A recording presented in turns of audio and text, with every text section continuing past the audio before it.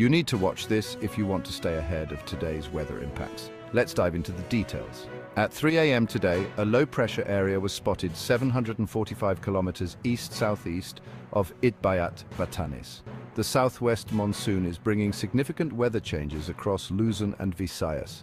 In Zambales and Bataan, expect monsoon rains with potential flash floods or landslides due to moderate to heavy rains. The Ilocos region will also see occasional rains with similar risks.